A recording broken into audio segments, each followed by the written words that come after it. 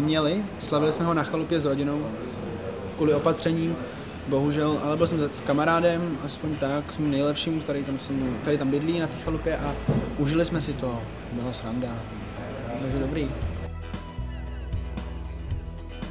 Já jsem se hrozně divil, protože nevím, jestli jsem, jako, jestli jsem toho udělal tolik, že jsem se dostal až sem, ale asi jsem něčím zaujal, což je hustý a jsem, byl jsem nadšený.